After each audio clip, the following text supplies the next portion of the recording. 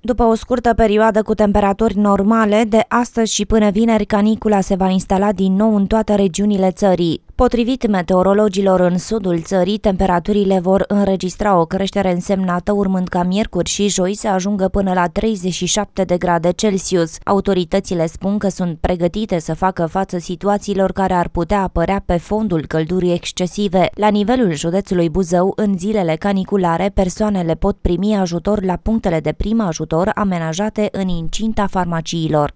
La nivel de municipiu Buzău există un uh, protocol încheiat între municipalitate și Colegiul Farmaciștilor uh, cu privire la faptul că în momente uh, de acest gen de caniculă, farmaciile se devine puncte de prim ajutor. Un lucru foarte bun și sper să se extindă și la nivelul celorlalte orașe, municipii și de ce și nu și comune acolo unde este cazul pentru că în această perioadă crește numărul persoanelor care merg la scăldat în locuri nepermise, riscul producerii unor evenimente nedorite este foarte mare. Pentru evitarea producerii unor situații de urgență, recomandăm cetățenilor ca scăldatul să se efectueze numai în locuri special amenajate și autorizate și nu în râuri, lacuri, canale de irigații sau alte cursuri de apă ce pot avea malurile abrupte și curenți puternici, să nu intre în apă după ce au consumat băuturi alcoolice, nici seara târziu sau pe timpul nopții, să nu intre în apa rece înfierbântați fiind de soare, nici să sară de pe construcții, poduri sau alte platforme.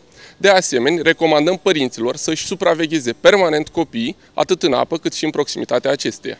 În această perioadă este important să ținem cont de câteva sfaturi utile astfel încât căldura excesivă să nu ne facă rău. În primul rând, hidratarea este esențială. Medicii ne recomandă să fim extrem de prudenți și să evităm pe cât posibil expunerea prelungită la soare între orele 11 și 18. În perioadele de canicule este recomandat consumul zilnic a cel puțin 2 litri de lichide fără a aștepta să apară senzația de sete.